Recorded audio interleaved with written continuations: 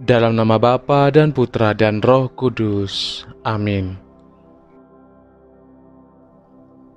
Datanglah ya roh hikmat, turunlah atas diri kami. Ajarlah kami menjadi orang bijak, terutama agar kami dapat menghargai, mencintai, dan mengutamakan cita-cita surgawi. Semoga kami kau lepaskan dari belenggu dosa dunia ini. Datanglah ya roh pengertian, turunlah atas diri kami. Terangilah budi kami, agar dapat memahami ajaran Yesus, Sang Putra, dan melaksanakannya dalam hidup sehari-hari. Datanglah ya roh nasihat, dampingilah kami dalam perjalanan hidup yang penuh gejolak ini. Semoga kami melakukan yang baik dan menjauhi yang jahat. Datanglah ya roh keperkasaan, kuatkanlah hambamu yang lemah ini, agar tabah menghadapi segala kesulitan dan derita.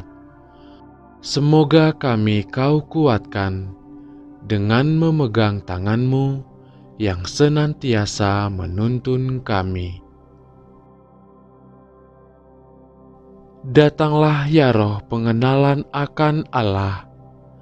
Ajarlah kami mengetahui bahwa semua yang ada di dunia ini sifatnya sementara saja.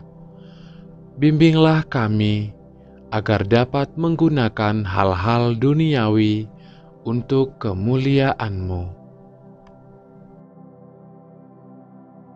Datanglah ya roh kesalehan, bimbinglah kami untuk terus berbakti kepadamu.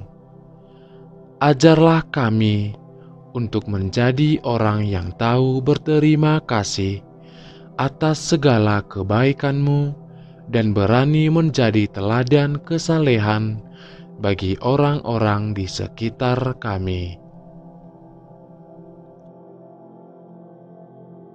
Datanglah ya roh takut akan Allah, ajarlah kami untuk takut dan tunduk kepadamu di mana pun kami berada tegakkanlah kami agar selalu berusaha melakukan hal-hal yang berkenan kepadamu.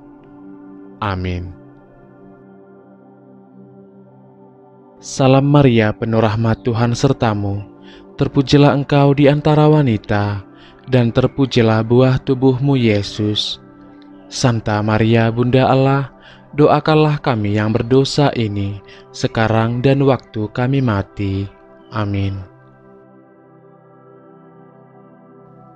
Bapa kami yang ada di surga, dimuliakanlah namamu, datanglah kerajaanmu, jadilah kehendakmu di atas bumi seperti di dalam surga.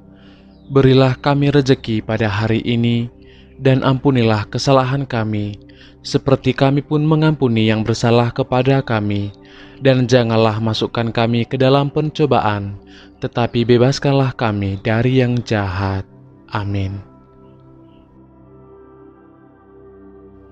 Dalam nama Bapa dan Putra dan Roh Kudus. Amin.